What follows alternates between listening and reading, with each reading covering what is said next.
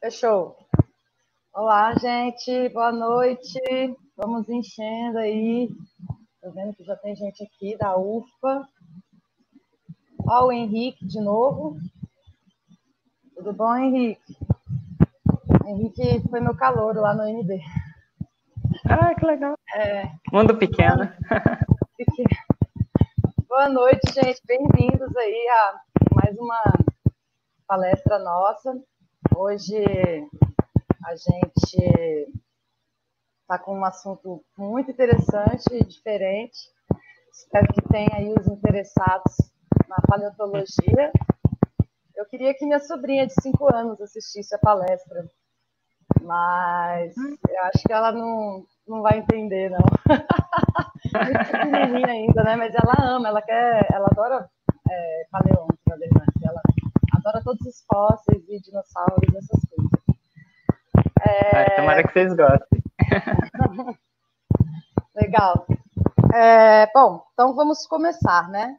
É, hoje a gente tem o prazer de trazer aqui a doutora Lucy Souza. É, vou apresentá-la devidamente. É, Lucy Souza é a mulher transgraduada em licenciatura e bacharelado pelo curso de Ciências Biológicas da Universidade Federal de Uberlândia, a UFA. É formada no mestrado e doutorado de Zoologia do Programa de Pós-Graduação do Museu Nacional pela Universidade Federal do Rio de Janeiro. E as pesquisas da presente autora consistem em estudos focados em biologia sistemática, filosofia da ciência, morfologia e evolução de crocodilianos, paleontologia, representatividade na ciência e sistemática filogenética. Ela foi orientada pelo Alexandre Kellner, diretor lá do Museu Nacional. E dentro dos seus artigos publicados, os mais recentes, 14, hein? Nossa! Vários. É, os mais recentes estão né, no Journal of South American Science e no Journal of Vertebrate Paleontology. Então, hoje a gente vai começar aí com um papo sobre os jacarés. Muito obrigada, Luci, valeu é, pela contribuição e vou compartilhar aqui a sua apresentação. O prazer é todo meu e uma honra enorme e espero muito que vocês gostem.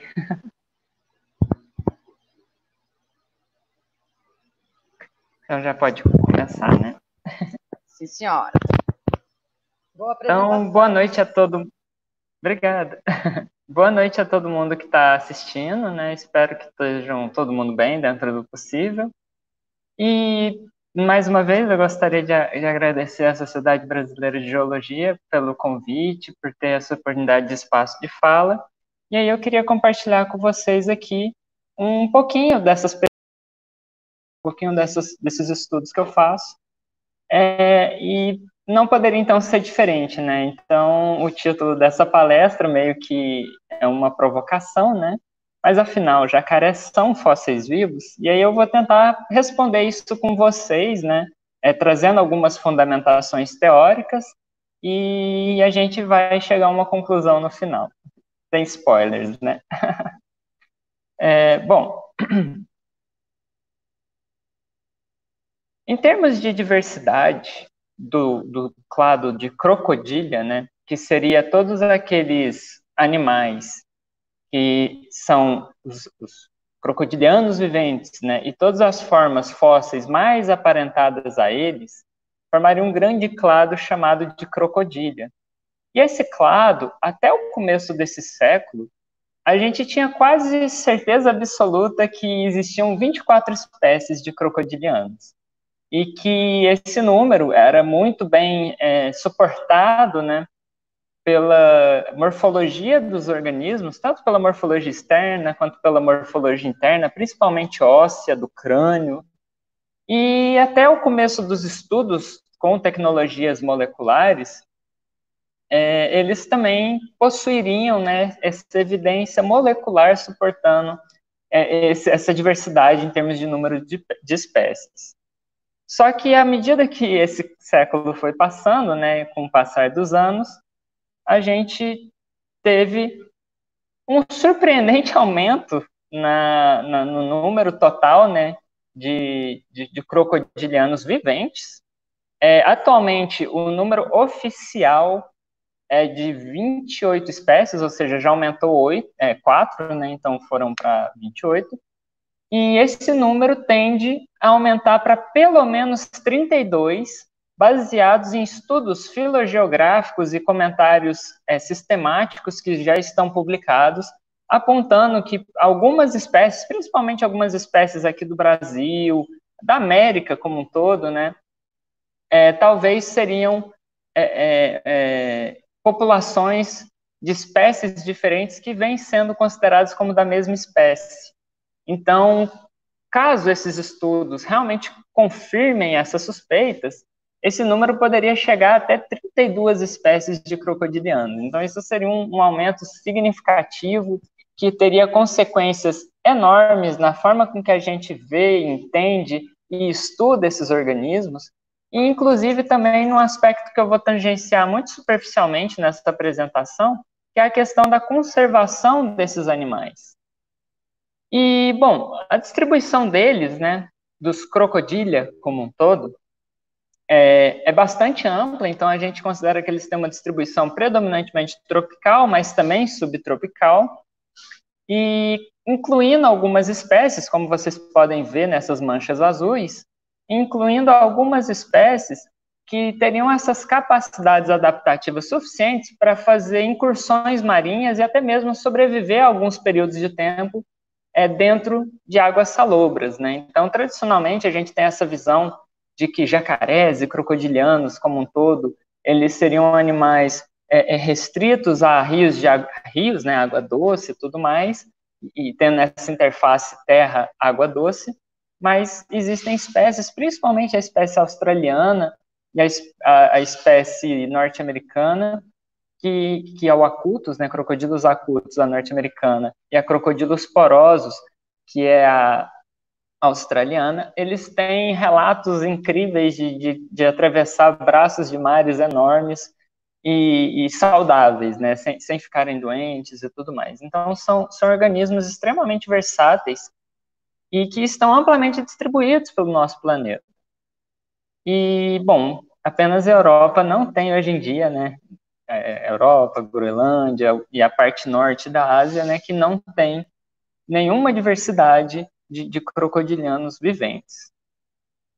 E aqui para a América do Sul, é, é um crocodiliano, né, o Crocodilus intermédios, que é o crocodilo do Orinoco, que é o maior predador da América do Sul. Ele, ele é o maior predador da América do Sul. Então, assim, para vocês entenderem a importância dos crocodilianos na fauna e na diversidade do nosso planeta atual, num continente gigantesco como a América do Sul, o crocodilos intermédios, ou seja, um crocodiliano, é o maior predador uh, desse continente inteiro. Então, isso ilustra um pouco, né, o papel e importância desempenhada por esses organismos, né, como animais carnívoros e predadores.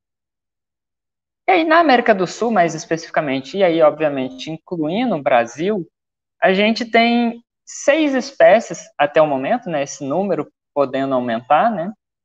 Mas a gente tem atualmente seis espécies descritas, pertencentes a três gêneros.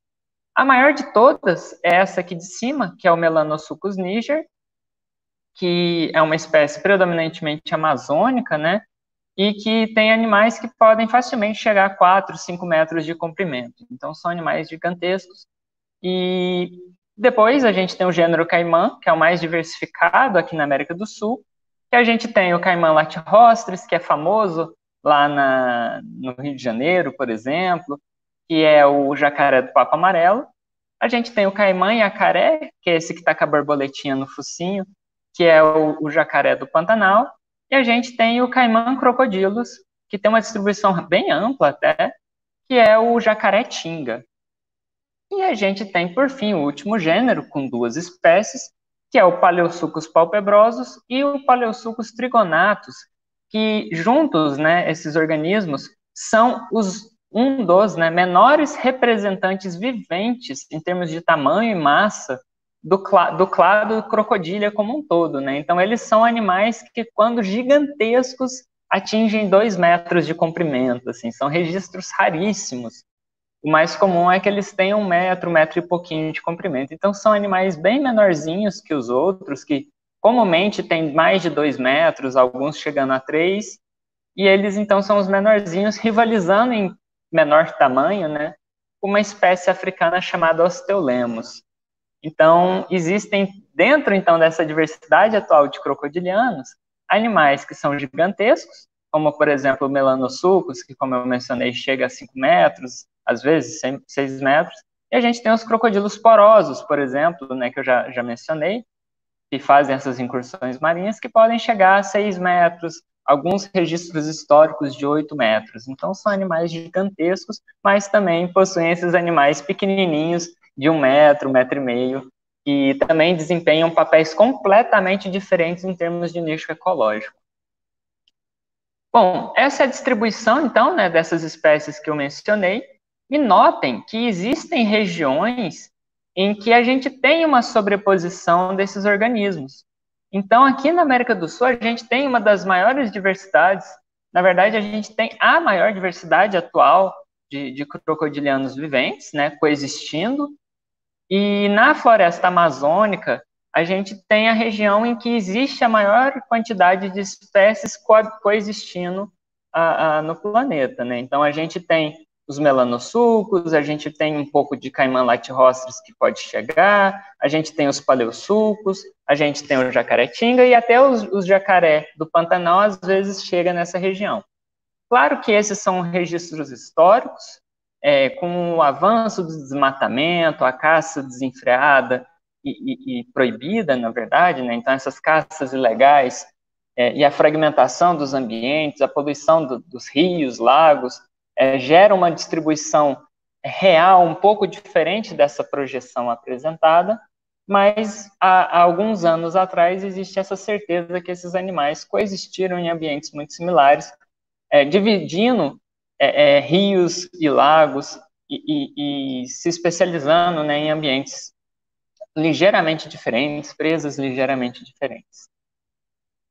E aí entra então a a discussão né, referente à pergunta dessa, dessa palestra, né, que se os jacarés são fósseis vivos, mas o que é um fóssil vivo, né? Então, para quem vem da geração do Pokémon, né, existia uma máquina lá no jogo que literalmente trazia um fóssil de volta à vida.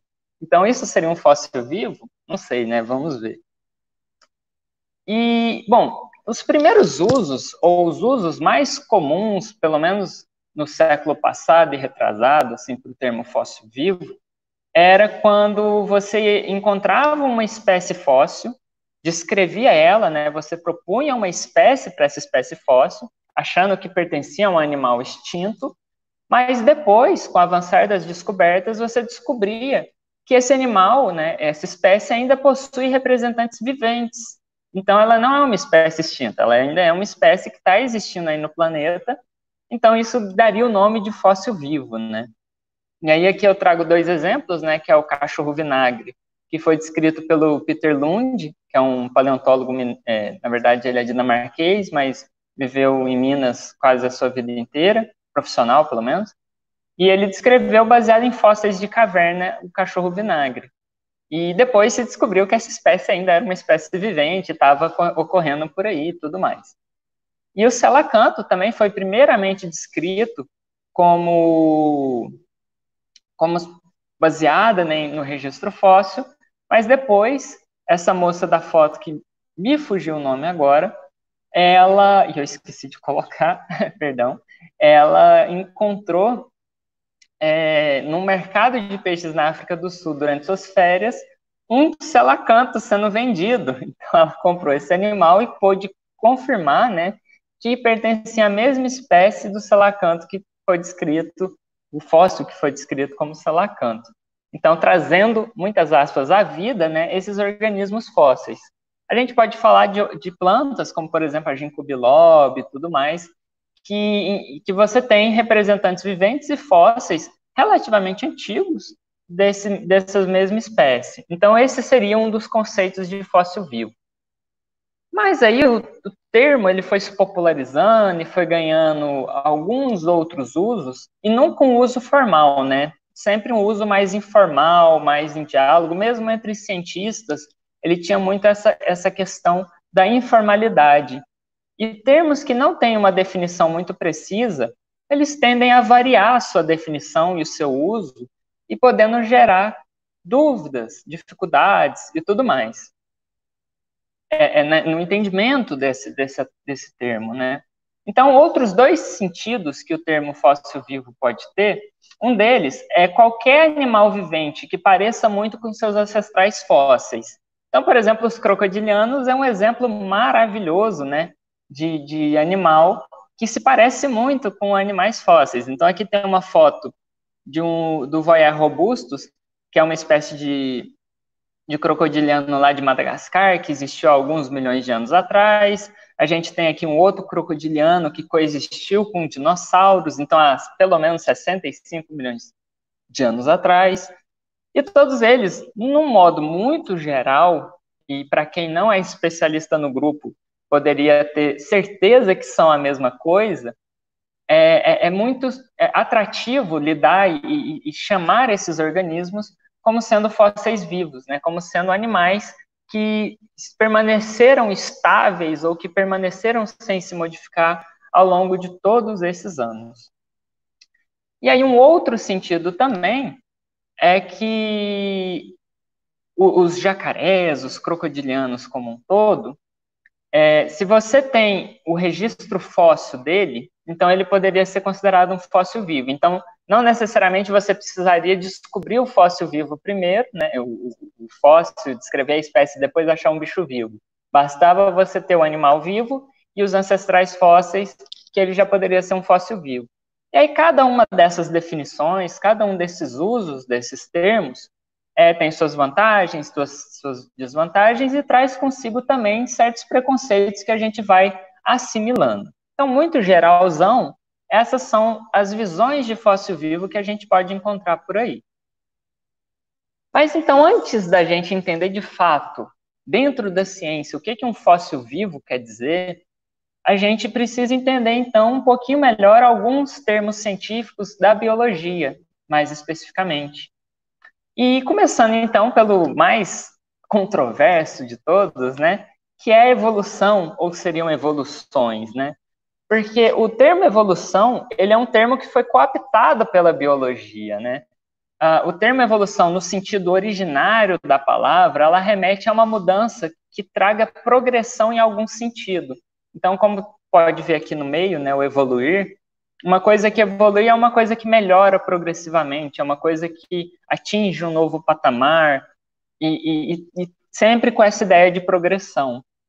E quando o Darwin, por exemplo, né, que é um dos evolucionistas mais famosos, né, é, quando Darwin escreveu o seu livro, ele não traz esse termo evolução, ele traz os termos referentes a duas outras teorias que eu vou falar daqui a pouquinho. Então, o termo evolução, ele vem aparecer de uma forma é, é, é, como um termo coaptado do português, do português não, né, da língua comum para a biologia, né, e trazendo esse sentido de evolução biológica, lá pela terceira edição, eles começam, então, a, a, a aplicar, né, a utilizar o termo evolução. E aí ele passa a, a, deixar de ter um sentido de progressão e passa a ter apenas um sentido de modificação. Ou seja, coisas que evoluem são coisas que se modificam ao longo do tempo. Então, se a gente vai falar de evolução na biologia, a gente está querendo se remeter a, a, essas modificações ao longo do tempo. E como que essas modificações ao longo do tempo ocorrem, né? Como a gente é capaz de explicar essas modificações ao longo do tempo? Aí entra, então, as duas teorias que eu mencionei. Uma delas é essa da esquerda, né, que é a descendência com modificação ou hereditariedade, que ela tenta explicar causalmente né, o porquê que nós parecemos com os, nossos, com os nossos ancestrais e por que os nossos descendentes parecem com a gente.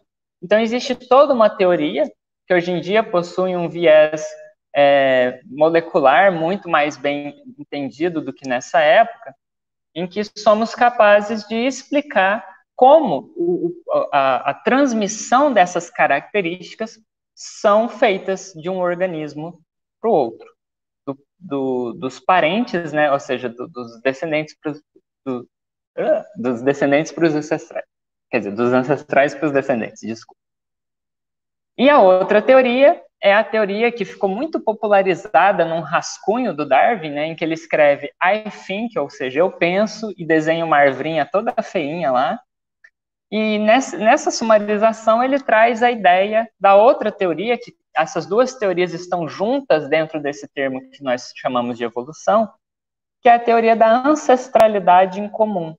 Ou seja, é, da mesma forma, então, que a hereditariedade ela, ela traz essa ligação entre a prole e os progenitores, a, a, a, ancestralidade em comum, ela reza a lenda, né, vamos dizer assim, ela traz uma, como explicação que organismos que hoje em dia são muito diferentes, eles tiveram em algum momento no passado algum ancestral em comum.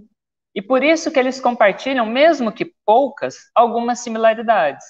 Então, por exemplo, se a gente pensa em nós seres humanos e uma borboleta, o ponto que a gente, é, é, que a ciência nos diz que nós compartilhamos um ancestral em comum, foi lá atrás, muito provavelmente naquele grupo que a gente chama de bilatéria, ou seja, é muito lá atrás, né? Depois, cada uma dessas linhagens, né, seguiram suas, suas histórias evolutivas próprias mas nós somos capazes de identificar algumas similaridades entre humanos e insetos. São muitas? Não, não são muitas. Mas as poucas que existem, nós somos capazes de explicar por meio dessa presença de um ancestral em comum entre esses grupos, mesmo tão distantes. Então, falar de evolução é tentar entender as similaridades que a gente observa entre os organismos, sejam eles viventes, sejam eles fósseis, por meio da hereditariedade e por meio da ancestralidade em comum. Então, basicamente, é isso que é evolução. E aí, quais são os mecanismos né, da evolução? O mecanismo está em interrogação, porque na filosofia isso é uma discussão meio ampla, se essas coisas que a gente diz que é mecanismo, de fato, são mecanismos e tudo mais, mas é mais comum vocês encontrarem como mecanismos da evolução. A gente tem aqui à esquerda, né, a, a seleção natural, que foi a proposta do Darwin Wallace, né? Que você tem uma variabilidade observada numa população e que essa variabilidade e os indivíduos dessa população eles são diferencialmente selecionados pelo ambiente, gerando é, diferentes fitness. O que é o fitness? É justamente a capacidade hereditária desses organismos, ou seja, a capacidade reprodutiva deles de deixar descendentes viáveis para o ambiente. Então, quando você tem assim um organismo com fitness alto, ele vai ser um organismo que vai ser capaz de chegar à vida adulta, à maturidade sexual, se reproduzir e que a prole que ele gere seja capaz também de atingir esse mesmo sucesso que ele obteve. Então, decorrente dessa seleção que o ambiente, predadores e tudo mais gera nos indivíduos dessa população, indivíduos diferentes com características diferentes vão ser selecionados para pressões, diferentes, é, pressões iguais é, de formas diferentes, resultando então que determinados organismos terão um maior sucesso em determinados ambientes, enquanto que determinados organismos terão maior sucesso em outros ambientes. E isso falando de, de organismos da mesma população. Então, isso é o que, muito resumidamente, né, a gente fala que a evolução, e no caso, por meio da seleção natural, o que sobrevive não é o mais forte, não é o mais poderoso, e sim aquele que tem as características necessárias para se, se, se, adaptar ao ambiente em que ele se encontra. Então, a adaptação é a palavra-chave nesse quesito de seleção natural. E aí notem que você, na seleção natural, você tem uma tendência à uniformização da diversidade. Ela tende a se uniformizar, ela tende, ou seja, como aqueles que são mais bem adaptados vão ter maior sucesso reprodutivo, eles tendem a se reproduzir mais, a sobreviver mais tempo e, consequentemente, essas feições tendem a aparecer com maior frequência na população. Agora, do lado direito, que são teorias que derivam de um contexto mais neodarwinista, em que se inclui as discussões de, é, moleculares, genéticas e tudo mais, a gente fala da deriva genética. E a deriva genética, ela já é uma feição mais esto estocástica, né, mais aleatória da evolução, em que ela vai tentar explicar como que determinadas variações surgem nas populações e como elas se estabilizam dentro dessas populações. Então, ela vai tratar das mutações aleatórias, ela vai tratar de efeitos gargalos, por exemplo, em que ocorre alguma catástrofe que elimina parte dessa população de forma aleatória, ou seja, sem adaptabilidade, sem que seja é, possível que esses organismos se adaptem a essa mudança, e, consequentemente, os que sobram, estando ou não mais adaptados, serão aqueles que irão perpetuar o seu pool genético, as suas variabilidades morfológicas. Então, esses, muito resumidamente, seriam os mecanismos principais né, desse processo evolutivo. E aí, então, uma vez que a gente entende isso, a gente pode chegar, então, no porquê que um fóssil vivo não pode existir. E aí eu convido vocês a ler esse trabalho de colegas aqui brasileiros, que está escrito em português, é um trabalho muito interessante, que diz de forma muito clara e didática né, o porquê que um fóssil vivo não pode existir. E, bom, esse conceito de fóssil vivo, é, como eu falei, ele tem diferentes usos, né? Mas todos eles carregam essa mesma deficiência que eles rebatem. E aqui ao lado a gente tem três formas né, de construir diagramas para representar os processos evolutivos. No primeiro, a gente tem um diagrama que vai dar uma noção de quais grupos são mais abrangentes e incluem os grupos menos abrangentes. Nesse segundo, é, a gente, nessas bolinhas pretas, a gente tem os terminais, que são as espécies que a gente está tentando entender. Enquanto que nessas bolinhas brancas, a gente tem os ancestrais hipotéticos que são gerados como hipóteses explanatórias é, baseadas na teoria da ancestralidade em comum e da descendência com modificação, para explicar as similaridades compartilhadas. Então, por exemplo, para mim entender por que, que o 3 e o 4 compartilham determinada característica, eu, eu explico esse compartilhamento dessa característica invocando um ancestral comum entre elas, que no caso é o 5, em que essa característica compartilhada se originou e se fixou e foi transmitida para frente. E no último cladograminha ali, né, na verdade não é um cladograma, no, no último diagrama, a gente tem, então, um, um, estabelecimento de relações diretas entre os ancestrais e os descendentes. Então, nas bolinhas pretas terminais, você teria as espécies viventes, por exemplo, nessas bolinhas pretas dos nós, você teria uma espécie fóssil, por exemplo, que supostamente teria sido o ancestral compartilhado desses dois organismos. E aí é muito comum você ver árvores evolutivas da nossa linhagem, né, dos seres humanos, que trazem esse tipo de diagrama. E esse tipo de diagrama não é o diagrama que a gente trabalha. O diagrama que a gente trabalha é esse do meio, em que a gente invoca uma hipótese de ancestral para explicar as similaridades. Isso quer dizer, então, que é um pré-requisito para o nosso método de estudo filogenético funcionar que os ancestrais sejam sempre hipotéticos, sejam sempre uma hipótese explanatória, porque são por meio delas que nós somos capazes de entender as perguntas que a gente está fazendo. E decorrente disso, é, você passa a, a, a, ter a impossibilidade de que um, uma espécie do nó continue viva como um ramo terminal. Então, basicamente é isso, né? Quando você vai fazer uma inferência filogenética, todas as espécies, sejam viventes ou fósseis, que você conhece, elas entram como ramos terminais. E todos os nós que vão conectar esses ramos terminais sempre serão hipóteses filogenéticas para explicar as similaridades compartilhadas entre esses organismos.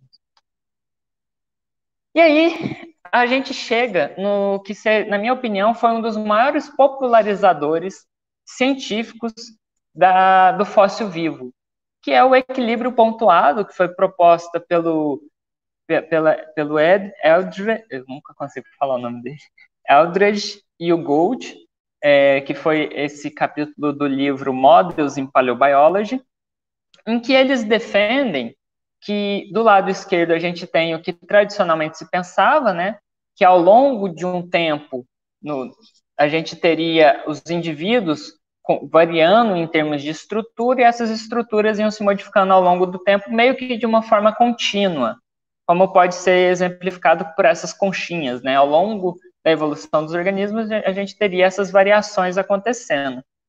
Enquanto que no, na teoria do equilíbrio pontuado, a gente teria não uma mudança contínua, a gente teria é, patamares de não evolução. Ou seja, é, a gente tem essas linhas pretas grossas e a gente tem as linhas pontilhadas. As linhas pretas grossas seriam os momentos em que você tem a êxtase, ou seja, você não está variando a morfologia em termos de espécie, né? então você não está gerando novas espécies nessas linhas pretas. Enquanto que nas linhas pontilhadas, é, é, você está variando ali no eixo da morfologia, então é ali que você está gerando a modificação. Então você teria momentos de modificação e momentos de êxtase, de, de, de continuidade, né? E isso se alternaria ao longo da evolução dos organismos. E aí, nesse contexto, é muito interessante pensar que fica extremamente plausível você conceber a ideia de um fóssil vivo. Porque, por exemplo, se os crocodilianos viventes são representantes de um período de êxtase, de, de, de não modificação morfológica, é, eles seriam, então, representantes de uma linhagem que não se modificou ao longo dos milhões de anos. Então, por bem ou por mal, né, a, a, essa teoria do equilíbrio pontuado, que vem para rivalizar aquela ideia de modificação lenta e gradual que o próprio Darwin defendia, é, ajudou a popularizar essa visão de fósseis vivos dentro da ciência e fora da ciência. Então, animais que teriam essa similaridade morfológica, animais viventes que teriam essa similaridade morfológica com seus fósseis conhecidos, seriam organismos que representariam essas linhagens de, de, de não modificação, né? De permanência morfológica, ou seja, seriam então fósseis vivos. E aí existe, eu esqueci de pôr a figura aqui, mas existe um livro que se chama Fósseis Vivos e Discussões, é, da, do Eldred e, e, de mais um outro autor, que, que trazem vários exemplos de vários organismos que seriam fósseis vivos. E aí, hoje em dia, o equilíbrio pontuado, ele já, já é meio que pouco aceito, né? Pelo menos pelo que eu tenho visto por colegas e nos artigos publicados, e ele vem sendo lentamente substituído por, por aquilo que seria uma, uma fusão né, entre aquela ideia darwiniana de, de modificações lentas e graduais e essa ideia de períodos de modificações rápidas e de não modificações. Então, nasce essa ideia de que você teria momentos de equilíbrio, só que durante esse momento de equilíbrio, você tem essas modificações acontecendo, só que essas modificações não seriam suficientes, por exemplo, para a gente reconhecer uma nova espécie. Enquanto que a gente teria esses, esses momentos de macromutação ou macroevolução, em que aconteceria rápidas evoluções, e nessas rápidas evoluções você geraria novas espécies. É, atualmente, essa é uma das visões mais bem aceitas para explicar, por exemplo, a origem das tartarugas em que você teria os, os, ancestrais das tartarugas, né, é, que ainda não teriam cascos, por exemplo, e que o casco surgiria como um desses processos de rápida modificação e soma de fatores que resultaria nessa, nessa aquisição do casco num momento muito rápido na história da evolução do grupo e que muito, muito dificilmente a gente encontraria fósseis desse período, porque teria sido um momento rápido que aconteceu em poucos milhares de anos. E aí, só para finalizar essa discussão sobre evolução e fósseis vivos, é muito importante que a gente entenda que o, o, um trabalho que saiu esse ano, né, do Brochu e do Sunhal, que são grandes especialistas em crocodilianos, que eles trazem justamente essa discussão baseada né, na diversificação que nós estamos observando dos crocodilianos viventes, eles projetam essas, essa, essa diversificação também para as, para as espécies fósseis.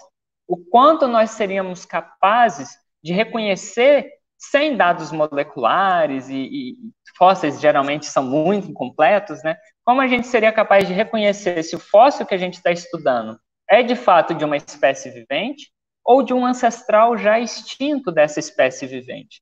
Então, eles trazem essa, esse review, essa discussão sobre isso e pontuam, né, é, sempre contra essa noção de que os crocodilianos seriam fósseis vivos, né, porque na verdade eles são animais extremamente diversificados e modificados e eu vou tentar daqui a pouco deixar isso um pouco mais claro. E aqui nessa arvrinha do lado, né, é um diagrama que ilustra todos os níveis de relações hologenéticas, que é um termo que foi proposto pelo Henning, que são os níveis de hipótese que existe dentro do estudo da biologia sistemática.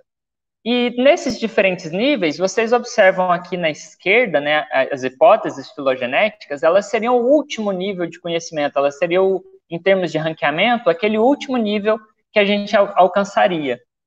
E dentro, então, desse último nível, olha quantas outras hipóteses a gente trabalha. E todas essas hipóteses, esses níveis de, de, de diversificação que a gente precisa explicar dentro da, da anatomia dos animais que a gente estuda, eles são hipóteses que representariam essas modificações que acontecem ao longo do tempo, que supostamente seriam esses equilíbrios que o, o Eldred e o Gold é, propõem.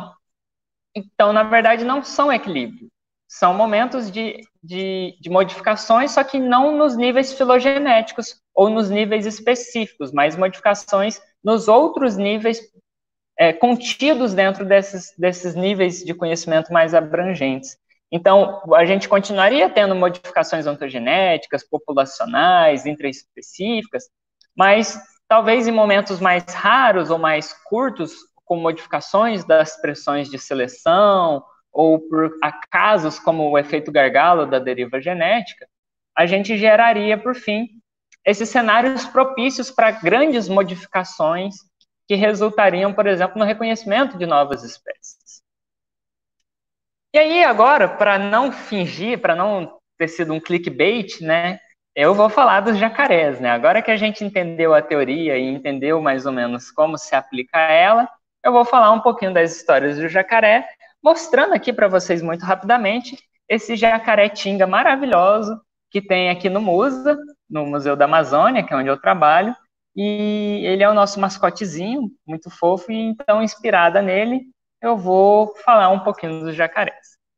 E aí, de cara, a primeira coisa que eu preciso deixar muito claro para quem não faz nem noção né, da evolução dos jacarés é que eles fazem parte de grupos fósseis, principalmente, muito amplos. É, na minha tese, eu trabalhei com clado o primeiro clado que inclui o, o clado crocodilha, né? Então seria o, o, o, ancestral comum dos bichinhos mais próximos dos crocodilianos viventes, mas que não são crocodilianos, que é o Eusúquia. Somando os Eusúquia, viventes e fósseis, né? A gente tem uma diversidade de pelo menos 240 e poucas espécies. Então isso é só um clado pequeno que está aqui é, na, nessa arvrinha da esquerda, né, seria o representado pelo crocodilo ali em cima. Então a gente teria essa representação, essa diversidade toda, né, só nesse momento de evolução bem curto, do Cretáceo para frente e tudo mais. Enquanto que para trás disso, a gente começa a ter clados muito mais amplos, como os crocodiliformes, como os crocodilomorfa, como os súquia, como os pseudosúquia, e aí a gente entra em arcosáurea.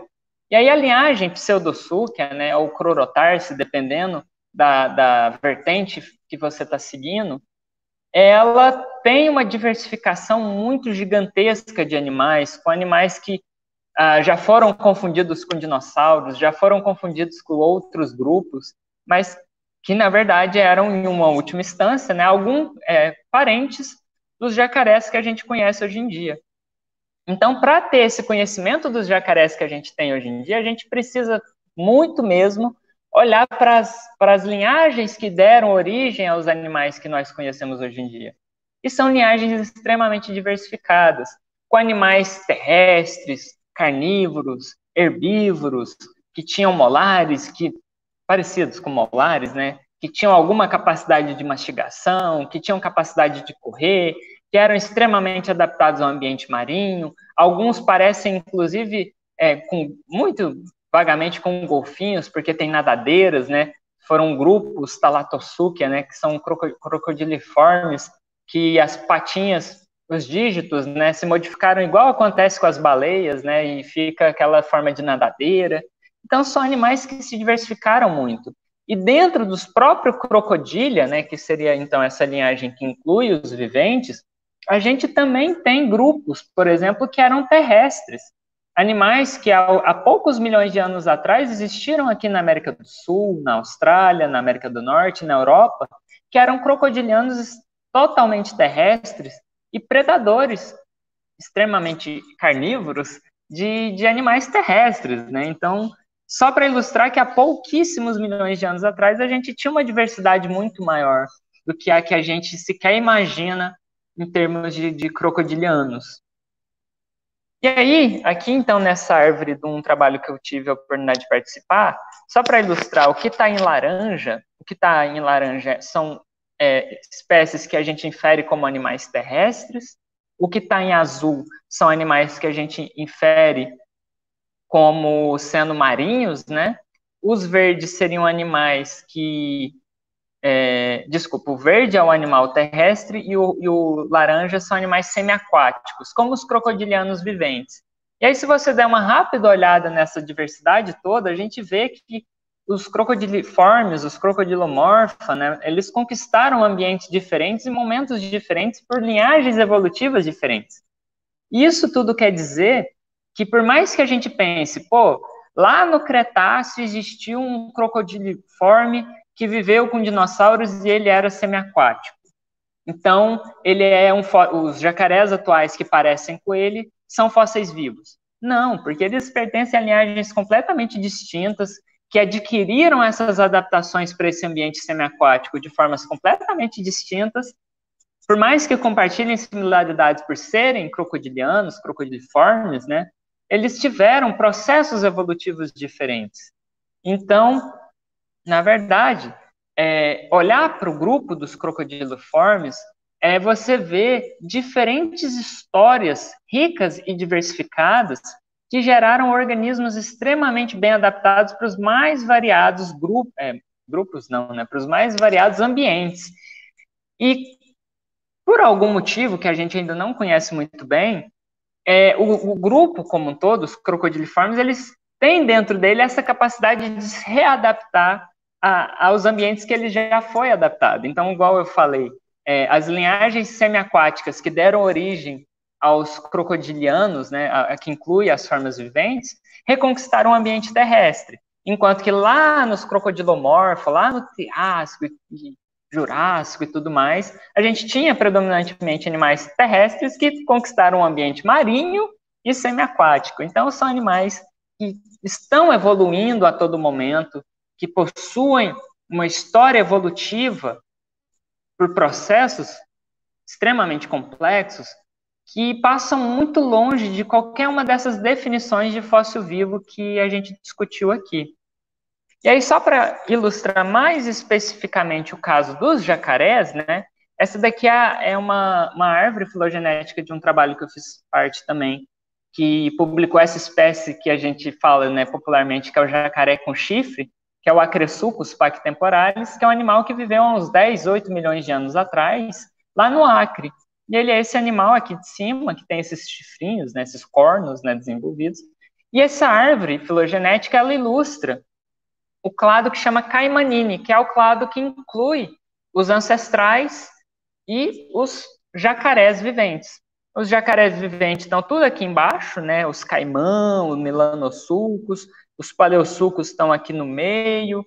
E se vocês olharem, olha essa é, é, quantas espécies, né, que vem evoluindo desde lá da, da, da transição do Cretáceo. Então, se você pega, por exemplo, por exemplo, o, o alligator mississippiensis, que é o animal vivente mais próximo do nosso jacaré, ele sequer está nessa árvore evolutiva, ele está em uma outra linhagem que já se diversificou há pelo menos desde o Cretáceo. Então, assim, são pelo menos 65 milhões de anos de anim desses animais evoluindo independentemente um do outro. Então, isso definitivamente não dá para considerar que esses animais sejam fósseis vivos. Não dá para considerar que esses animais passaram por, esse, por todo esse período sem se modificar. E a prova disso justamente está nos fósseis e na, nas modificações que nós observamos, tanto especificamente quanto filogeneticamente. E aí, para ilustrar mais ainda, o grupo irmão que contém os, os jacarés é, nos, do gênero caimã e do gênero melanosucus é a linhagem que dá origem ao maior crocodiliano do mundo, que é o Purosaurus brasiliensis, que é esse crânio que eu estou fazendo pose aí do lado, toda, toda posuda blogueirinha, que esse crânio tem 1,40m de comprimento, só o crânio. Então, assim, as estimativas que nós temos desse animal é que ele teria pelo menos 12 a 13 metros de comprimento total sendo então o maior crocodiliano que já existiu. E esse animal, ele está há, há 8, 4 milhões de anos atrás, que ele vivia aqui na região do Amazonas, do Acre e tudo mais. Então, assim, o Acressucus, ele é um ancestral, né, é, é, do, do, do Purosaurus, e vendo o Acressucus, a gente consegue detectar características como o tamanho das fenestras, da, da narina e de estruturas que estão relacionadas direta ou indiretamente com a termorregulação do animal, já estavam presentes no acressucos, que foram pré-adaptações essenciais para que a linhagem que viesse a gerar o Purosaurus fosse capaz de atingir esses grandes tamanhos. Porque como os crocodilianos são animais ectotérmicos, eles dependem muito do ambiente para regular a temperatura do corpo. Mas também eles têm estratégias fisiológicas, comportamentais e morfológicas para tentar usar o ambiente a favor deles.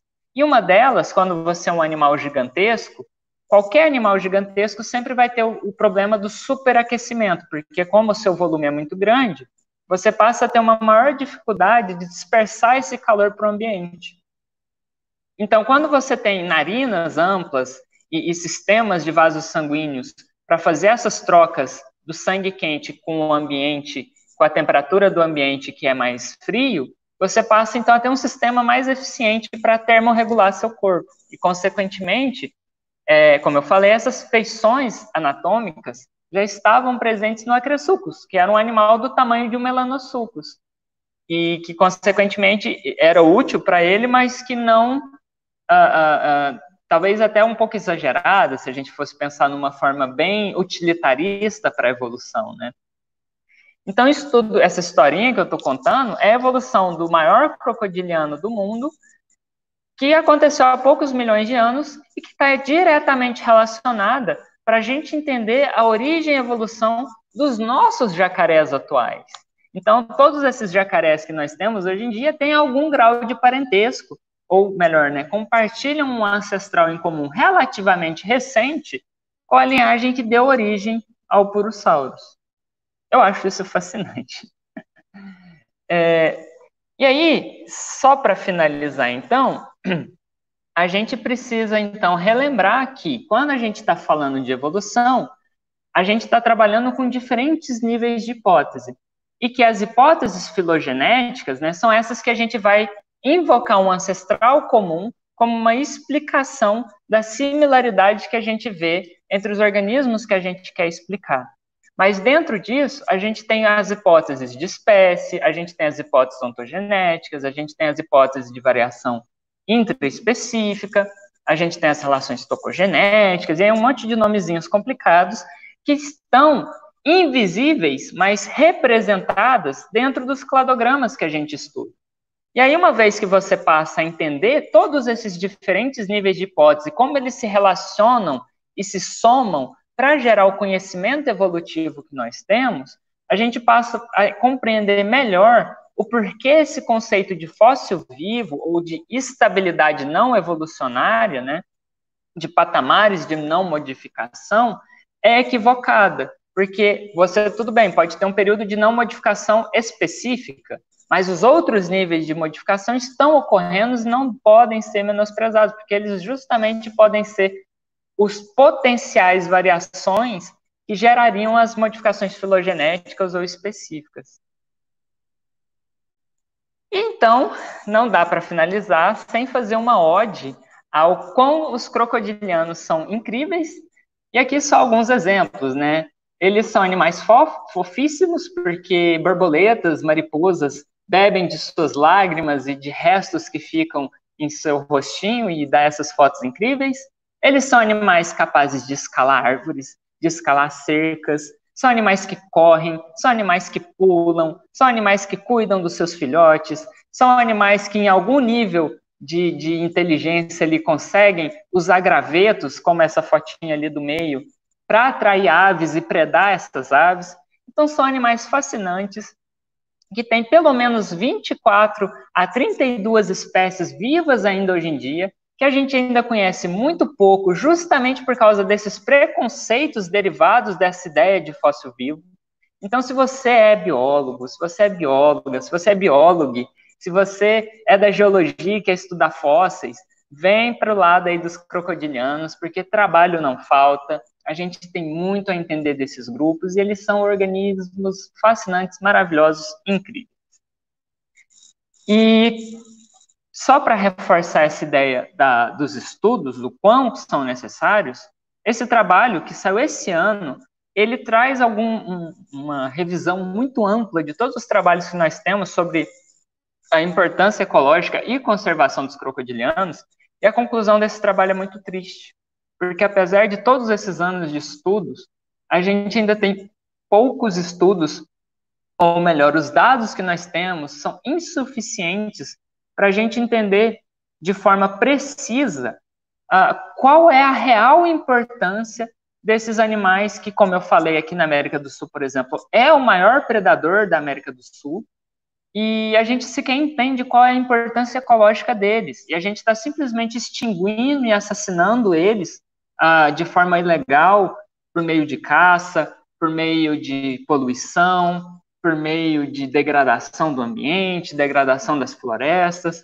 Então, a gente pode acabar terminando de distinguir esses animais que trazem, que representam uma história evolutiva de muitos milhões de anos e que são animais fascinantes e que a gente ainda sequer compreende o quão magnífico eles são.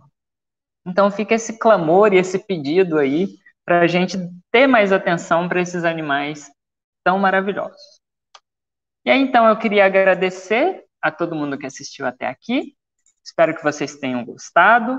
É, Para quem gostou da minha palestra e quiser ver mais os meus conteúdos, eu tenho um canal no YouTube que chama Make Science BR. Eu tenho uma coluna que chama Túnel do Tempo, que eu posto todo mês lá no Fauna News. E eu participo também das iniciativas da Herpetologia Segundo as Herpetólogas e da Rede Cunha Axé, que estão no Instagram, Twitter, Facebook também é, sempre trazendo conteúdos, né, de divulgação científica, de exaltação às mulheres na ciência, e serão todos sempre muito bem-vindos. E um último spoilerzinho aqui, propaganda, né?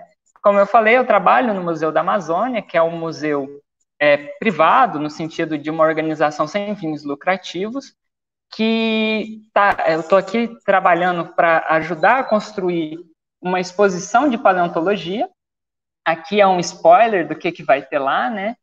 É, também vai ter um Purosaurus em tamanho real lá. E tudo isso é uma coisa que vai acontecer muito em breve. E aí eu queria convidar vocês, para quem ainda não conhece o Musa, né, procurar o site e tudo mais.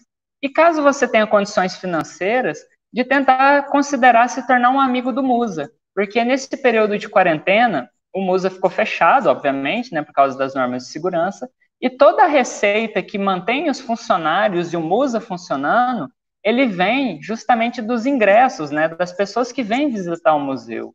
E nesse período que ele ficou fechado, ele não só secou essas reservas, né, como também é, precisou fazer algumas dívidas para manter os funcionários. E dentro do site do Musa, você tem lá como se tornar um amigo do Musa. E por meio dessa contribuição, você vai estar ajudando o Musa a se manter e trazer sempre mais novidades, conteúdos e exposições maravilhosas. E para quem um dia tiver oportunidade após essa quarentena, após a, a, a pandemia terminar, vai ser um prazer enorme receber vocês aqui no Musa. E é isso. Obrigada, pessoal.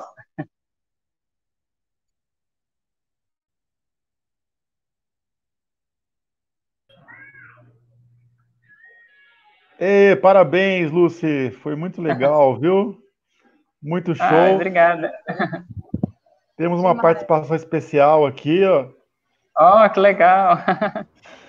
Pô, é um absurdo. Como me chama a Lúcia para falar, não me chamam. Eu estou ofendido. Que história é essa? Rafael, olha. Parabéns, parabéns. Acho que é um trabalho muito bacana, né?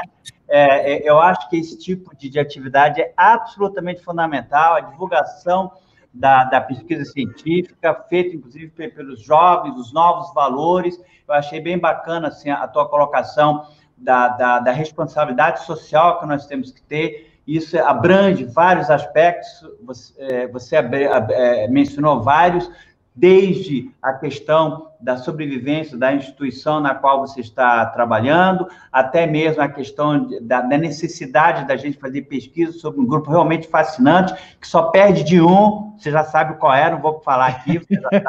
Puxa saco. Mas fora isso, assim, gostei mesmo. Parabéns aí, né? É uma surpresa aí que o Flávio falou. Aparece aí e tal, e eu tive que ficar meio no segredo aí, mas parabéns, parabenizo aí. E mais uma coisa, eu espero algum dia ver um livro aí sobre Crocs, que você devia escrever, tentar fazer uma coisa popular bacana também, né? Já que você está entrando, enveredando para essa área de divulgação científica, seria uma coisa muito legal. É uma ótima ideia, obrigada.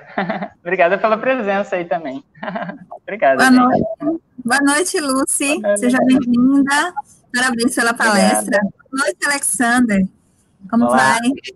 Como está Tudo o nosso bom? museu nessa então, pandemia? Lucy mesmo esteve lá, né? Manteve lá a garra, né? Sabe da luta enorme que tem o Museu Nacional. Mas é muito importante isso. Né? Não é só o Museu Nacional que precisa de ajuda. Várias instituições inclusive museus pequenos, museus que têm essa, essa, essa noção, essa, essa vocação sem fins lucrativos, que é, que é o trabalho num local muito legal, no, é, é mais fácil você ser museu no Rio de Janeiro, São Paulo, em Porto Alegre, do que na Amazônia, né? Então, acho assim, bem bacana que a gente valorize essas instituições e que a gente se orgulha muito de tê-las. E eu tenho certeza que a Luciana vai achar que pterossauro na Amazônia, não vai lembrar da gente aqui. Uma hora vem. Bom, parabéns aí pelo trabalho. Um grande abraço da FBG e a toda a equipe né, do museu. Eu acho que a importância dos museus né, para produção de conhecimento científico é indiscutível, né? Então, a gente precisa realmente ter uma campanha de valorização dessas instituições, tá? Parabéns pelo seu trabalho. A palestra foi fascinante. Muita ah, gente, né? Muitas famílias inteiras assistindo, né? Pessoas gente. de todas as idades. Olha, Luci. A didática e o trabalho. Parabéns. Muito, muito Obrigada, bom. viu? Obrigada. Oi, Elisa. eu achei que você tinha acabado de falar, perdão. Eu ia só comentar que hoje tem gente até do direito aqui nessa assistindo a palestra. E eu falando coisa complicada, meu. Então, só direito está acostumado com coisa bem complicada. Mas é, é bom que tem, tem, pessoas de todas as idades, né? É, e isso que é, é, isso que a gente chama de geodivulgação, né?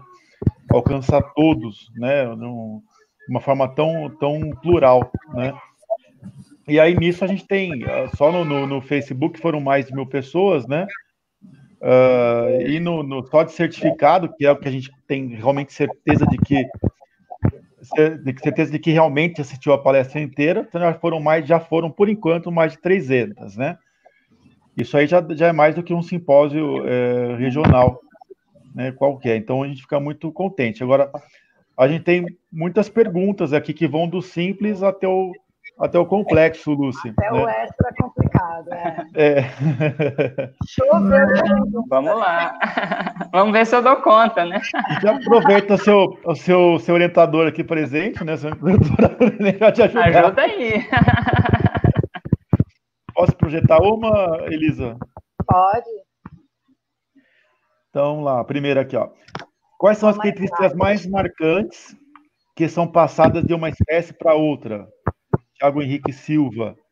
Olha, isso é uma boa pergunta. E isso é muito difícil de responder porque é extremamente relativo ao que você considera como uma característica marcante. Se você considerar como característica marcante algo que faça com que o organismo esteja melhor adaptado ao ambiente que ele vive, é, então a gente vai esperar que essas características correspondam a feições que gerem algum grau de melhor adaptação desse organismo ao ambiente que ele vive. Agora, se for algo marcante, por exemplo, um outro exemplo de, de algo marcante é quando você tem animais que possuem dimorfismo sexual, ou seja, os machos e as fêmeas têm anatomias diferentes, e isso gera diferenças também na forma de corte e tudo mais. Então, é, ter alguma característica que traga algum benefício nessa corte poderia também ser um exemplo de característica marcante que poderia ser dada por, uma, por um indivíduo de uma espécie.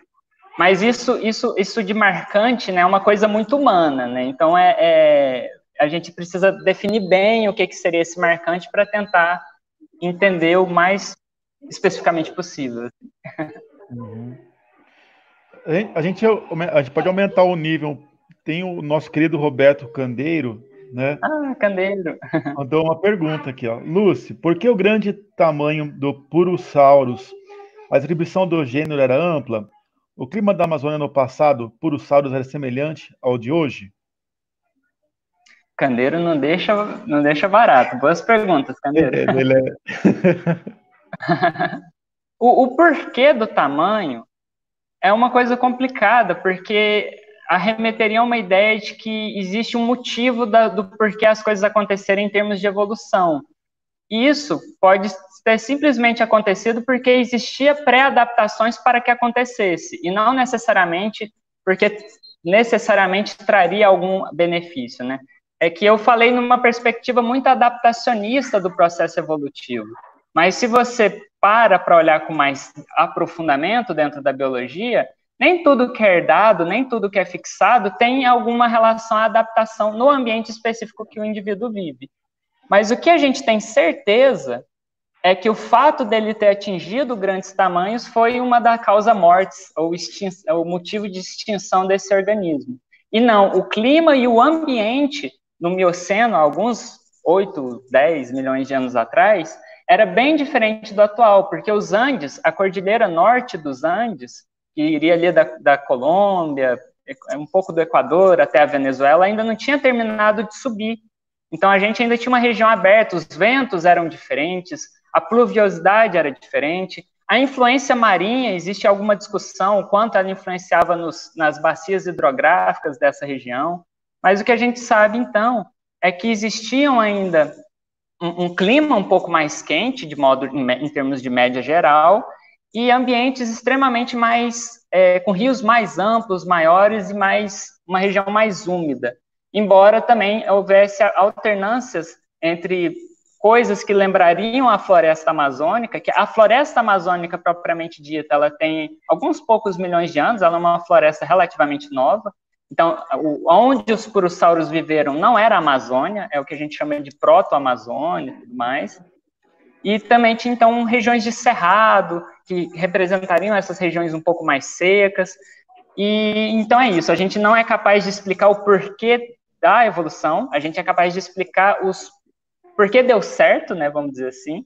Então, existiam essas pré-adaptações ao gigantismo, e uma vez você se tornando um animal gigante e vivendo em um ambiente em que existia a megafauna de mamíferos, né? Então você tinha preguiça gigante, toxodonte, gliptodonte, toda uma, uma diversidade de animais gigantescos, você passa a ser um dos poucos que é capaz de realmente predar esses animais e consumir eles. Então você ocupa um nicho muito específico. E aí, quando vem uma mudança climática e ambiental decorrente do fim do sorgimento dos Andes, você tem uma mudança na vegetação, no clima e também na, na distribuição desses, desses organismos que eram as presas deles. E aí não aguentou, né? Vamos dizer assim. Elisa, quer selecionar alguma aí? Ligar o microfone aqui. Liguei meu microfone. É, eu quero sim, sempre. Adoro perguntar. Se tem uma coisa que eu gosto de fazer, é perguntar. É, vou pegar isso daqui também, que é um pouquinho mais. É, já é um tanto mais. A, uma pergunta mais light. É, o nobre Yuri. Professora Lucy, por que o espinossauro parece tanto um jacaré? Não parece. Isso, isso, isso é viagem de quem descreveu o espinossauro. São bichos completamente diferentes. A, a, a, morfologia dos dentes, do rosto, são muito diferentes. O, ainda mais agora que você começa a ter um, um entendimento melhor né, do resto da anatomia do animal. Então, eu, eu na minha opinião, eu estou até, em teoria, tem um trabalho já submetido, tentando desmistificar um pouco essa, essa similaridade. É, eu acho que isso foi uma comparação meio infeliz que fizeram. Na época, tinha ali sua, sua fundamentação, né, porque realmente eram animais que se conheciam poucos fósseis, eram animais que você ainda não entendia o posicionamento filogenético e, e consequentemente, não entendia bem da ecologia deles, mas à medida que a gente foi progredindo e descobrindo animais cada vez mais completos, novas espécies, crânios mais completos, a gente passa então a entender que realmente de croque ali não tem nada. É, tem uns. É, a gente tem um problema, às vezes, de atualização, né? Porque a, a tecnologia evolui, evoluem os resultados, evoluem né, a, a é, os conceitos e só que isso às vezes fica parado, pessoa, as pessoas ficam esquecendo que já passou, né? Que, que isso é antigo, esse, esse pensamento.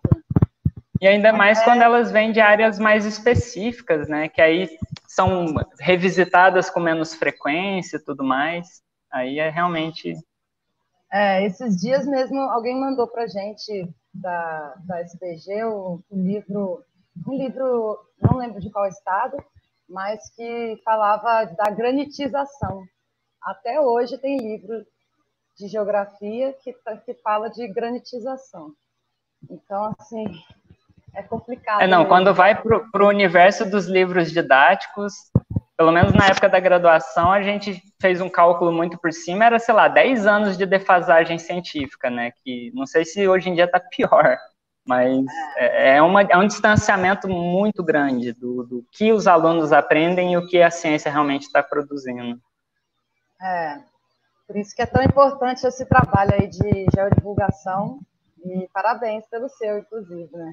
Obrigada. Aproveitar já para mandar um parabéns. Bom, vou pegar mais uma pergunta, pode, Fábio?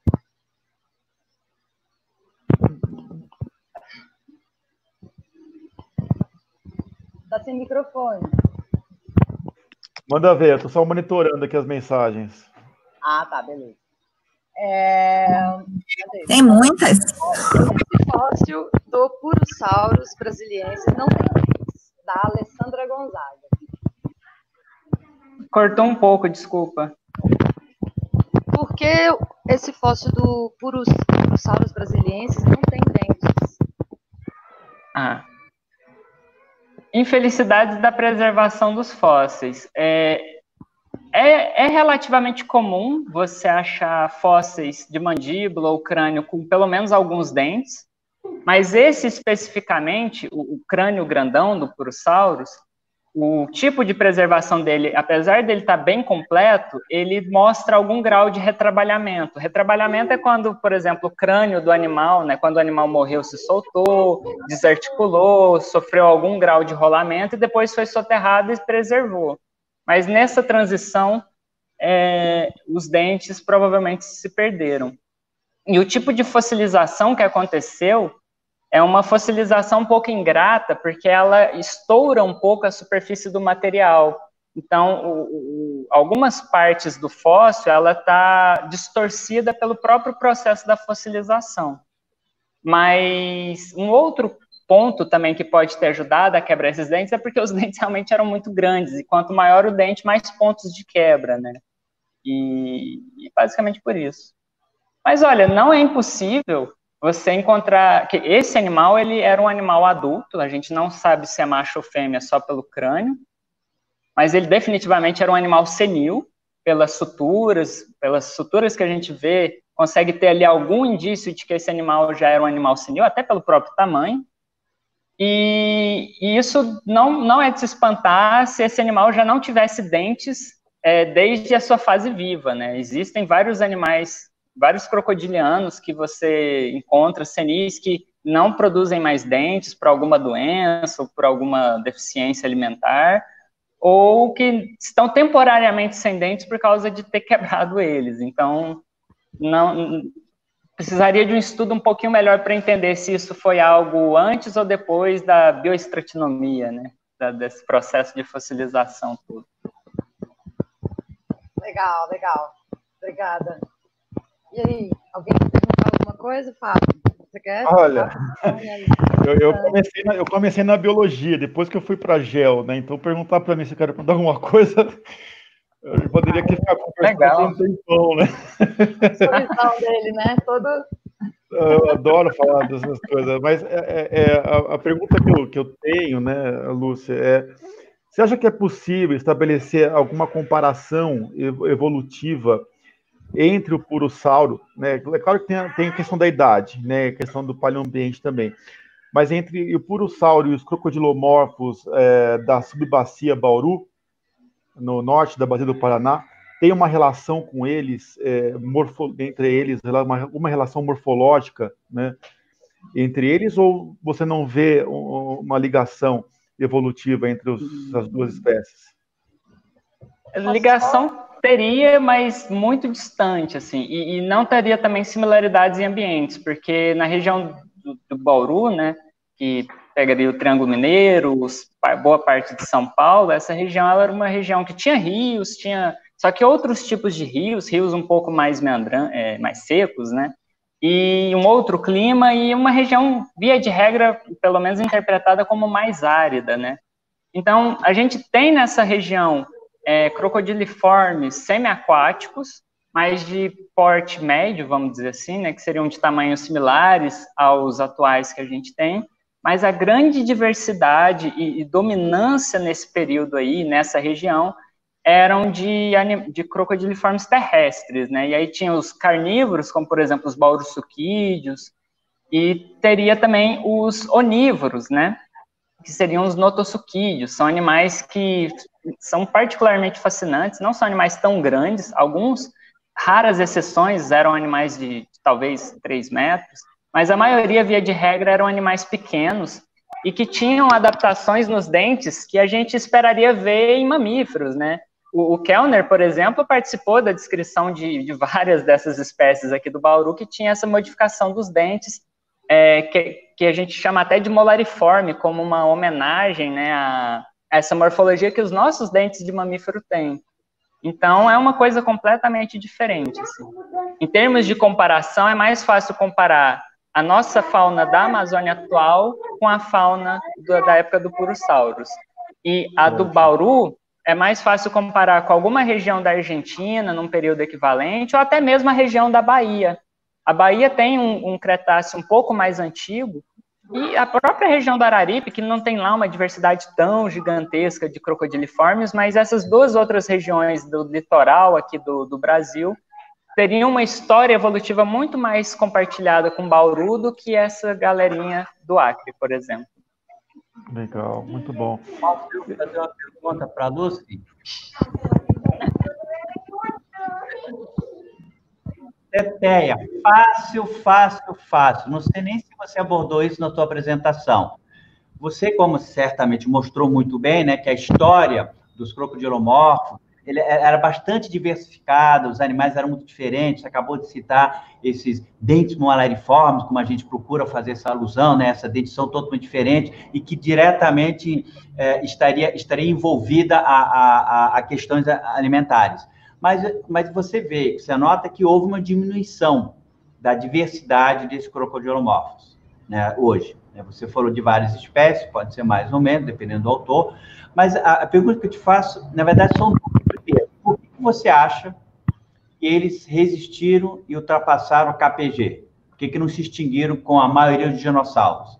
E segundo, a que você atribui, ou se existe isso, não sei se tem alguma coisa na literatura, ou, ou o que, que você pensa sobre isso, a essa, vamos dizer assim, é, diminuição de diversificação de, de morfologias? Essa é uma pergunta muito boa, porque é uma pergunta muito viva, eu diria, né? A gente ainda está realmente debatendo as duas perguntas. Mas em termos da extinção, é, até recentemente a gente tinha essa, ilusão, vamos dizer assim, que só a linhagem que deu origem aos crocodilianos viventes que passou dessa extinção do KPG. Mas a gente tem fósseis aqui no Brasil, na América do Sul, de uma linhagem de crocodiliformes aquáticos, né, marinhos, né, que são, por exemplo, os, os dirossaurídeos, estava fugindo o nome, os dirossaurídeos, aí a gente tem o Hipossaurus derbianos, a gente tem o... Ai, agora o outro eu esqueci. Mas tem esse, esse pessoal fóssil aqui, que eram animais marinhos, que sobreviveram ao KPG. E um outro grupo que sobreviveu a essa passagem e que teve uma diversificação relativamente alta depois da, desse, dessa extinção é um grupo que, que é chamado de sebecídeos, que eram de animais carnívoros e terrestres. E aí uma coisa que tem se observado em comum com essas três linhagens é que isso, Guariniçucos, Guariniçucos, deu branco o nome dele, meu Deus. Essas três linhagens que são completamente diferentes, ó, uma linhagem aquática, uma linhagem aquática marinha, né, uma linhagem semi-aquática de água doce, que deu origem aos crocodilianos atuais, e uma linhagem completamente terrestre carnívora. O que a gente observa é que os, os organismos, as espécies desses grupos que estavam é, sobrevivendo nesse período de extinção do, do KPG, eles tinham algo em comum que era o compartilhamento ou acesso a alimentos da região de águas doces. Porque um dos, dos ambientes mais afetados durante essa, essa, extinção foram os ambientes marinhos, que a gente também teve uma extinção gigantesca de animais é, é, marinhos, incluindo os grandes répteis é, é que ocupavam os mares e tudo mais. E isso teve impactos também no, no recurso de peixes e tudo mais. Então, o que tem se indicado é que os microambientes que correspondem a lagoas e pequenos rios, eles tiveram um impacto em termos de disponibilidade de recursos, menor do que os ambientes terrestres e do que os ambientes ah, marinhos. Então, todas essas três linhagens tinham organismos que estavam, de alguma forma, relacionados a esses ambientes protegidos durante a extinção. Isso poderia, então, ter garantido essa capacidade de sobreviver a esse processo de extinção e, consequentemente, se diversificar depois. Aí, a linhagem dos dirossaurídeos e a linhagem dos sebecídeos, elas se extinguiram um pouco depois, alguns 20, 30 milhões de anos depois da extinção, é, e aí ficou realmente só essa linhagem dos, dos nossos crocodilianos é, atuais, esses semiaquáticos que a gente conhece, e aí, o porquê dessa, degra dessa degradação ambiental em termos de, de, diversidade desse grupo, que uma vez foi tão diversificado? Eu acho que uma das explicações está relacionada justamente com uma sequela dessa extinção do Cretáceo.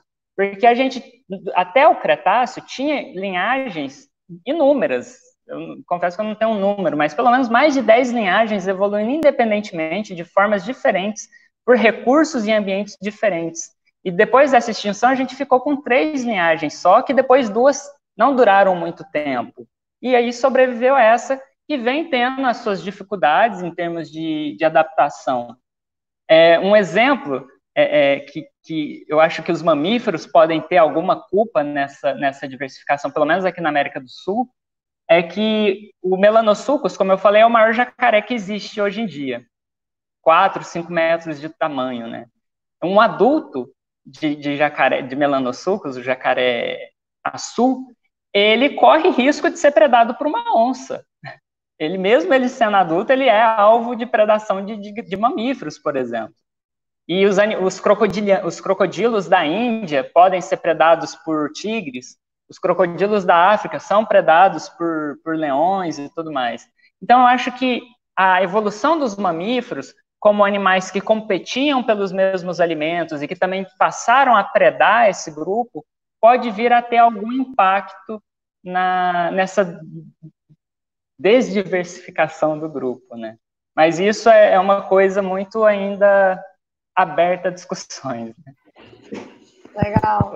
Posso tirar uma dúvidazinha rápida? Eu lembrei agora, você falando dos outros continentes. E o crocodilo de água salgada lá da Austrália, que tem lá no norte da Austrália, no norte, né, eu acho.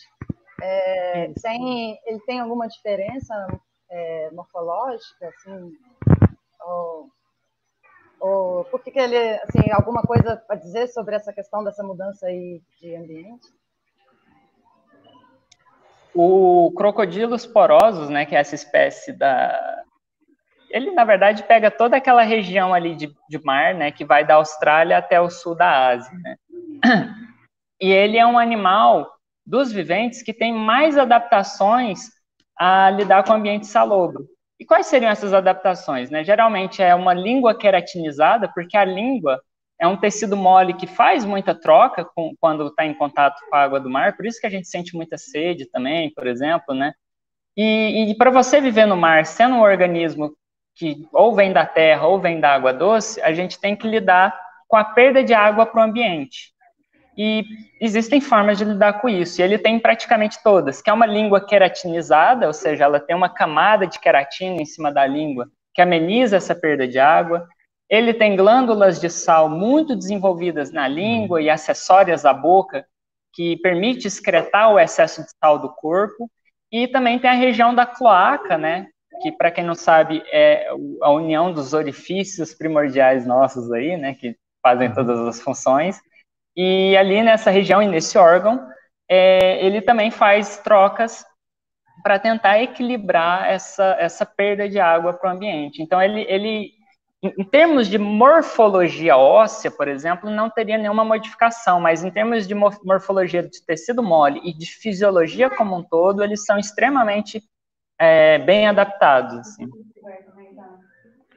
É, é, Lúcio, você vê como a gente está como a gente tem muito para aprender, né? Nós estamos aqui, somos múltiplos profissionais, né, de, de várias ciências e eu, eu estamos aqui conversando com uma, uma exímia pesquisadora na área de, de crocodilos, né? E eu, assim, eu, eu fico, eu, eu nunca entendi por que, que eu, eu, eu escrevo um e-mail, mas eu acho que cabe, já que você falou, por que, que o, Guarino, o Guarinosaurus ele é, não se extinguiu? Por que, que ele é tão guerreiro assim? Porque ele tinha tudo para extinguir no Cretáceo, mas ele segurou a onda, né? E, e mesmo sendo marinho, ele foi um dos poucos que não extinguiu, né? Você consegue, eh, já conseguiu imaginar por que, que eles não extinguiram? Então, o Guarinisulcus, que faz parte dessa linhagem dos dirossaurídeos, que são crocodiliformes, estão ainda longe da, de chegar nessa linhagem dos, dos viventes, é, o Hipposaurus derbianus e o Guarinisulcus, que são animais que viviam em ambientes marinhos aqui do Brasil, eles já existiam após a extinção do Cretáceo. Então, eles já eles não precisaram, muitas aspas, sobreviver à extinção. Mas a linhagem que eles pertencem e que tem algum parentesco com eles é, existia aqui no, no, na Colômbia, se eu não estou enganada, e esses fósseis da Colômbia são fósseis de espécies de dirossaurídeo que viviam em ambiente de água doce e estão ali próximas a esse momento de extinção, reforçando então essa ideia né, de que aqueles animais que estavam de alguma forma vinculados aos ambientes de, de água doce teriam essa capacidade de sobreviver ao, ao Cretáceo. E aí, uma vez que esses ancestrais deles sobreviveram, alguma dessas linhagens deu origem a esses animais guerreiros, né, de fato, e uhum. que existiram na, no, no, nosso litoral. E que pena que não existem mais, né? Seria sim, legal. Sim, sim, sim, é isso aí. Posso fazer um rápido comentário? Eu não resisto, e a, e a Lucy pode me corrigir. Tem outro negócio legal sobre o dinossauro, né? Muito, como muito bem falou, existiu no Cretáceo, mas ele existiu no Cretáceo de uma forma não tão diversificada. Aí, depois disso, eles explodiram na diversificação depois do Cretáceo. E aí, vou provocar a Lúcia, agora vamos ver. Por que, que você acha que aconteceu isso? bom, os, os trabalhos mostram, né, eu concordo particularmente, que a extinção dos grandes outros répteis marinhos, né, os mosassauros, os plesiosauros e tudo mais, liberou nichos para essa diversificação dos crocodilianos, né? Só que aí não funcionou durante tanto tempo assim, mas realmente deu esse potencial de, de, de, se diversificar um tempo, pelo menos, e gerar essa diversidade que a gente viu nas margens aqui da América do Sul, na África. É, é basicamente isso. Muito legal. Poxa vida, dá para conversar a noite inteira aqui. Dá mesmo. A gente pode variar, né?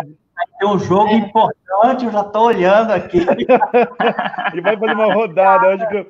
oh, meu Deus do céu, já estou rezando. A gente pode fazer uma rodada, pode participar de vulcão, depois tectônica, depois é para rocha vulcão alcalino. Muito interessante. Tema incrível. É, acho, acho que deu uma ibope aí para nossa nossa live. Acho que foi uma das palestras que mais teve perguntas, sabia? É. Ai, que legal. Outros aqui, que tem umas que você respondeu ao longo da apresentação e outras que, que você acabou respondendo aí, como a do Henrique, que perguntou sobre a evolução deles e tal. Eu acho que eu fiquei satisfeita, acho que deu para responder a pergunta dele. Ficou, ah, eu fico feliz. Demais, valeu. Pô.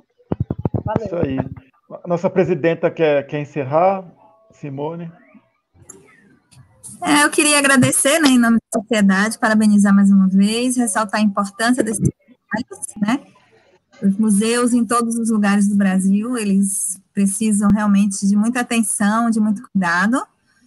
Gostaria de saudar também, mais uma vez, a presença do Museu Nacional, que todo, a gente tem todo um carinho, né, muito especial e desejamos que as obras estejam caminhando bem e que em breve tenhamos, então, novamente nosso museu à disposição de um público, né, é, da nossa sociedade, no momento que isso for possível, né.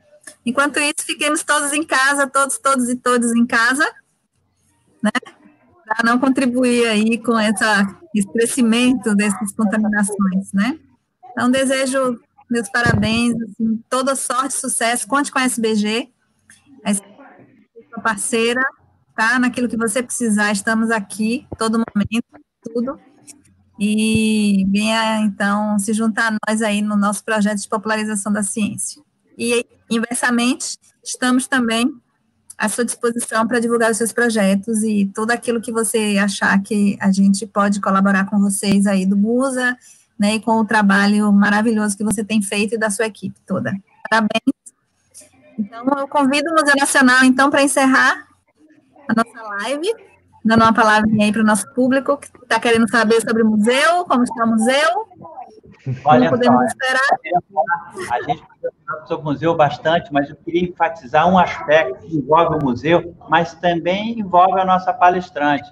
Isso é uma coisa legal. O Museu Nacional perdeu muito, eu não quero em nenhum momento mitigar isso. Mas a gente se orgulha de poder ainda continuar, primeiro, gerando conhecimento e, segundo, gerando bons pesquisadores e pesquisadoras, como a Lucy acabou de demonstrar para vocês. E um negócio legal que, que, que a Lucy está enveredando por esse lado, além de fazer pesquisa, por esse lado da divulgação científica. Eu acho que é muito importante.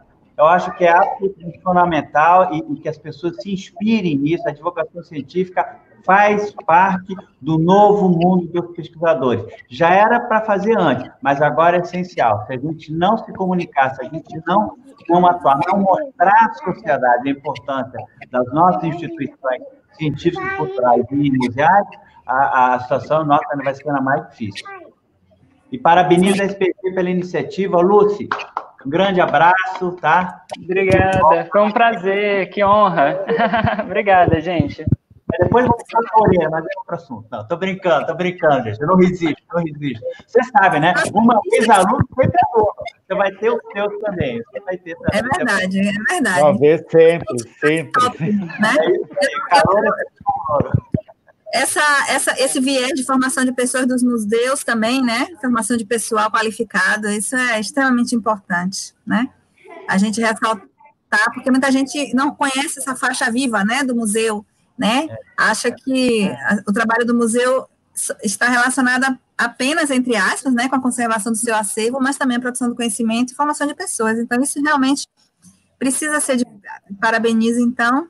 Gostaria, então, acho que a Isa pode encerrar aí com a nossa programação de amanhã. E um grande beijo em todas, todos e todos. Bom, gente, é, a nossa programação continua na sexta agora. Só rapidinho, você está vendo aí? Que é para a gente se contar com uma palestra sobre purossauros. Sim. Se deu mal, Lúcia, vai ter que voltar para o quadro negro. Vai voltar aí. Um prazer, só chamar que nós volta. É, vai pensando na data aí. Mas... Legal, legal. A gente volta na ah, sexta, às 17 horas, com diversidade geológica do patrimônio histórico e cultural brasileiro, com o professor Antônio Gilberto Costa, da UFMG. Então, vamos continuar aí com, com essa parte importante de preservação, conservação, divulgação. É, muito obrigada. Boa noite, gente. Até sexta, então. Boa noite. Obrigada a todo mundo e obrigada pela oportunidade e pelo convite. Obrigada, Kelner, pela presença. Surpresa agradável. Queremos você pertinho da gente. Abraço. Beijo. Tchau. Oh, show de bola!